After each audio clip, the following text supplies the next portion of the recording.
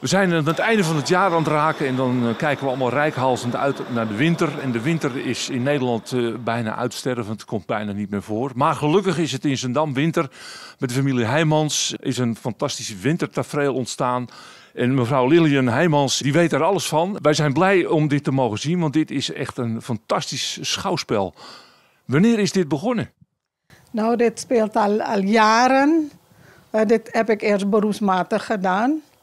En uh, daarna zijn we, we zijn dus vanaf onze pensioen, zijn beide met pensioen, zijn we thuis begonnen. En het is met vier huisjes begonnen en u ziet nu het resultaat. Er is nu sprake van een complete stad.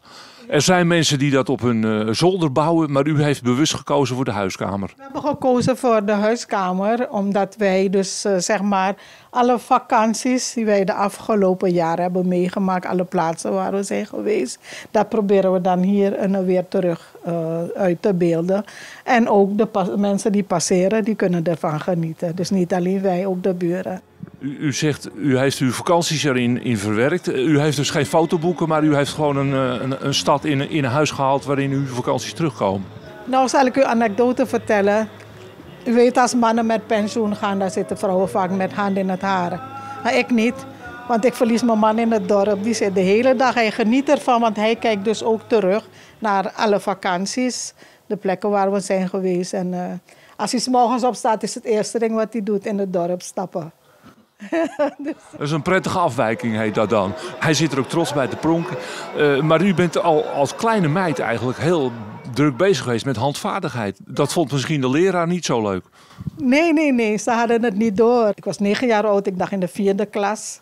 En van de melkdoppen maakte ik dan uh, zeg maar potten, pannen, lepels, miniatuur, heel klein. En daar genoot ik van, heb ik ook uh, voortgezet. En in Suriname gebruikte ik uh, zeg maar allerlei natuurproducten, spulletjes uit het bos.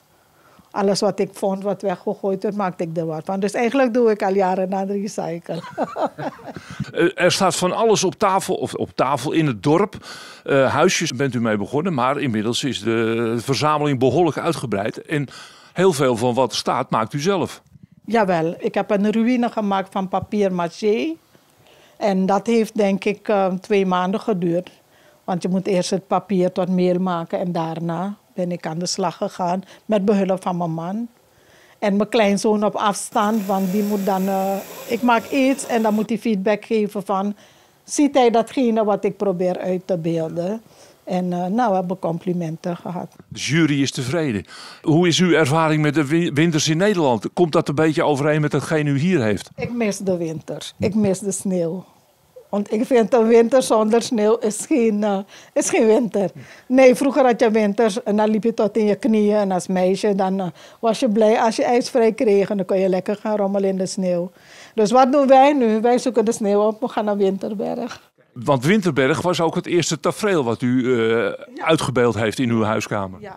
En toen was er iemand van um, Radio Noord-Holland. En ze stapt naar binnen. Het eerste ding wat ze zegt is van... Kijk, Winterberg. Kijk. Dus ja. Dus dat betekent dat het goed gegaan is. Ja, ja, ja. En nu hebben we dus de kerstmarkt hebben we dan uitgebeeld. En dat is een stukje van de markt in Praag. Dat was onze eerste kerstmarkt. We hebben ook dan een, een, torentje en dat, is, dat moet dan zeg maar uh, Parijs uitbeelden. Dus zo'n beetje alle plekken waar we zijn geweest. Uh, in Turkije hebben we ook kerst gevierd. Dat was ook heel fijn. Dus uh, we gaan meestal weg. We zoeken de sneeuw op. U bent dus een wereldreiziger.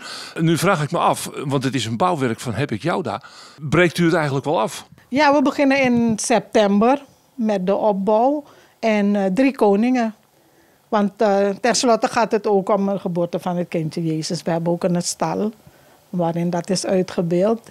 En uh, ja, met drie koningen wordt het dan afgebroken en gaat op zolder. Maar dan heeft u ineens een gat in de kamer. Hoe lost u dat op?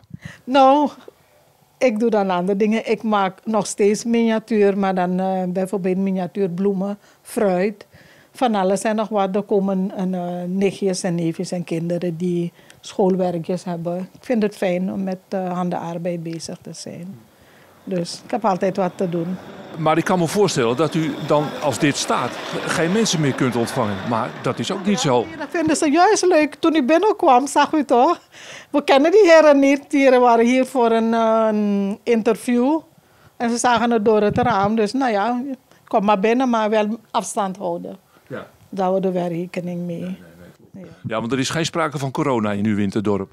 Jawel, jawel. Ja, maar ze zijn allemaal gevaccineerd.